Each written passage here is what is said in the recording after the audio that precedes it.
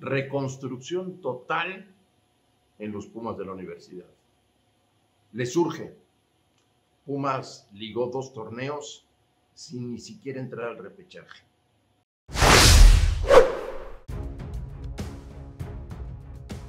Amigos de la autopsia, qué placer saludarles este martes 2 de mayo. Reconstrucción total en los Pumas de la universidad. Le surge Pumas ligó dos torneos sin ni siquiera entrar al repechaje.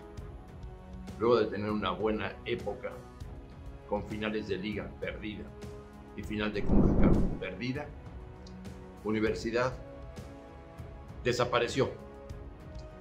En manos de Mohamed y de Miguel Mejía Barón tendrán que reorganizar todo, porque a Pumas le urgen futbolistas en todas las zonas del campo. Y es que hay que revisar con calma que Pumas tuvo un buen momento no hace mucho tiempo.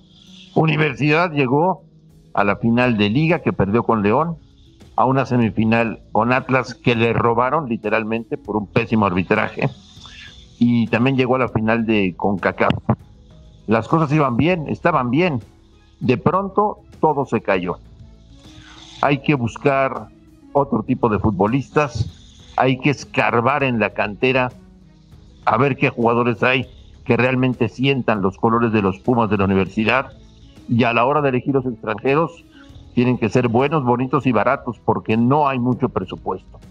Antonio Mohamed se la sabe de todas, todas. Y Miguel Mejía Barón también. Tienen que tomar decisiones, tienen que reorganizar el plantel. Si hay que vender para tener recursos, tendrán que hacerlo me parece que Dineno y algunos más están bien valorados en el fútbol mexicano. Y eso sí, encontrar jugadores urgentemente. Buenos extranjeros y el turco tiene que solucionar el tema de la cantera, que no es su responsabilidad porque para formar a un jugador se necesitan años, muchos años, pero sí a lo mejor nutrirse de gente que esté en Pumas Tabasco, en la sub-20, en la sub-17 ir formando jugadores. Los Pumas están en buenas manos con el Turco Mohamed. Que no haya calificado la liguilla no es culpa de él, es indudablemente una consecuencia de lo que se ha hecho mal durante tanto tiempo. Es por eso que pienso yo que con Mohamed las cosas van a estar mejor, pero hay que tener recursos y Pumas no tiene recursos. Estoy seguro de que el turco ya sabe qué tipo de jugadores necesita, ahora habrá que ver si alcanza el dinero para traerlos. Vaya, si hubo para Dani Alves, tiene que haber para tener otro tipo de jugadores. Del Prete ha sido una decepción. Salvio también.